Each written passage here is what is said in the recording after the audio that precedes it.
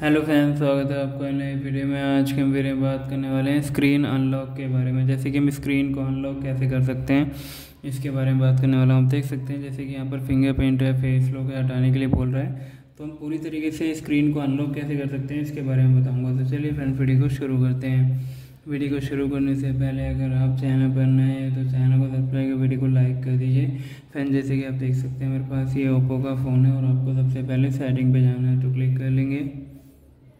Setting पे जाने के बाद आपको इस तरीके का आइकन शो करेगा। आपको यहाँ पर क्या करना होगा? थोड़ा सा आपको ऊपर की साइड स्क्रॉल करना है। और यहाँ पे आपको देखने के लिए मिलता है, जैसे कि आप देख सकते हैं पासवर्ड एंड सिक्योरिटी तो इस पर क्लिक करेंगे।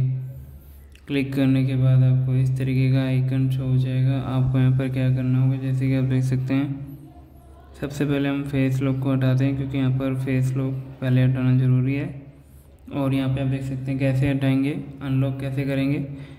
यहाँ पर डिलीट वाले ऑप्शन पे क्लिक करेंगे और यहाँ से डिलीट कर देंगे। तो आपका जो फेस लॉक है वो अनलॉक हो जाएगा, लेकिन आप देख सकते हैं आपकी स्क्रीन अब भी अनलॉक नहीं हुई है। ये देखिए, इस तरीके से अनलॉक नहीं हुई है। आप इसको कैसे अनलॉक कर सकते हैं, इसके बारे में बताऊँगा।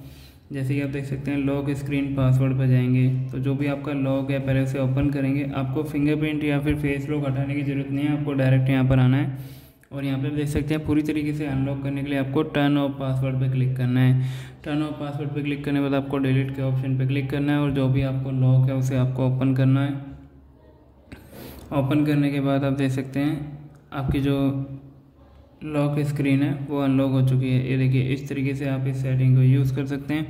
उम्मीद है फ्रेंड वीडियो पसंद आएगी। वीडियो पसंद आए तो चैनल को सब्सक्राइब कर वीडियो को लाइक कर दीजिए। मिलते हैं नेक्स्ट वीडियो में, तब तक के लिए नमस्कार। अगर आपको कोई भी जानकारी चाहिए पीसी से रिलेटेड या फिर फ़ोन से रिलेटेड तो आप हमें कमेंट भी कर सकते हैं। मिलते हैं नेक्स्ट वीडियो में, तब तक के लिए बाय बाय